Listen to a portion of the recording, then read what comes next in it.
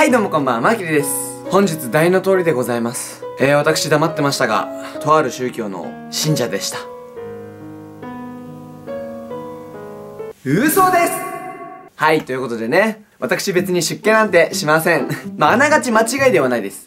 前回の動画で言ってたと思うんですけど、4月の26から30日に舞台が決まっております。その舞台で、私、カイザー・リアンというね、役をさせていただくんですけど、そのカイザー・リアンっていうのは、ウニ教というね、宗教団体のトップ、もう代表みたいなポジションなんですよ。なんで、あながち宗教団体に入ってるっていうのは、間違いではない。まあ本当は別に私、あれですよ。無宗教なのかな？宗教関連よくわかんないからもう黙るね。はい、ということでこちらがチラシでございます。まだこちらの方のチラシでは私の名前が載っておりません。まだこの時には私が出る予定ではなかったんですけど、もうそろそろフライヤーできるのかな？そちらの方では名前が載るかと思います。今回の舞台の名前、チョイス、チャルメカンパニーさんの第1回本公演となっております。まあ、今回の内容としましてはですね、ちょっと読みますね。発展しすぎた文明が世界を壊そうとした時、一人の救世主が現れた。彼女の名はアリン。不浄のものを浄化し、すべてを正しき姿に変えたもの。人は己の欲を捨て、アリンの教えに従い暮らした。しかし時が流れ、人は己の欲を捨てきれず、アリンの教えはレクティ教と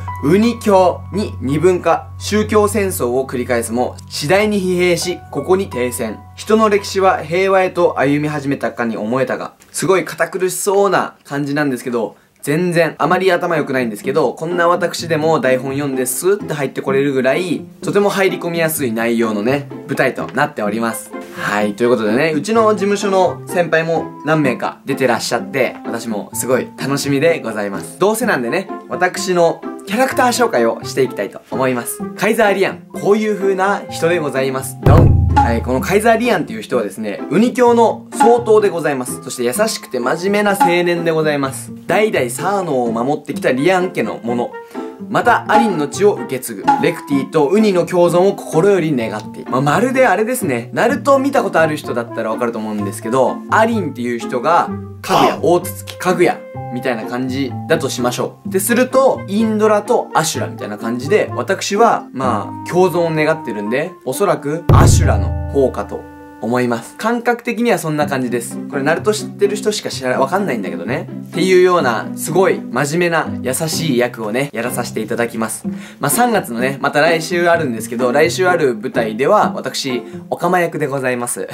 ね、全然違うキャラをね、一月で変えるということで、すごい楽しみでございます。え今回のチョイス、会場は中野の方ですね。ポケットスクエア、劇場ホープ。で、公演スケジュールとしましては、こちらに記載してあります。4月26から4月30日で、土日は2回公演、2公演ずつさせていただきます。チケットの方もですね、前売り券が3500円。で、当日券が3800円となってまして、そしてチケットの予約方法です。あの、ツイッターの方には上げさせてもらったんですけど、マーキュリー専用の購入ページができております。そちらの方からぜひね、買っていただければと思います。その購入ページ、下の概要欄の方に URL 貼っておりますので、ぜひそちらから買ってください。いやね、どんどんこういう舞台だったりの宣伝ができて私とても嬉しく思っております。ぜひ皆さん、ね、なかなか自分もイベントとかできないと思うので、こういう機会で皆さんにお会いできればなと思っております。ぜひ皆さん、チョイス来てみてください。で、チョイスのこの舞台の詳しい情報だったり、まあ、最新情報とか、舞台稽古のオフショットなどが、シャルメカンパニーさんの Twitter アカウントだったりで配信されてますので、そちらの方もフォローお願いします。それでは皆さん、お会いできるのを楽しみにしております。私も役作りの方頑張っていきたいと思います。それでは皆さん、じゃあね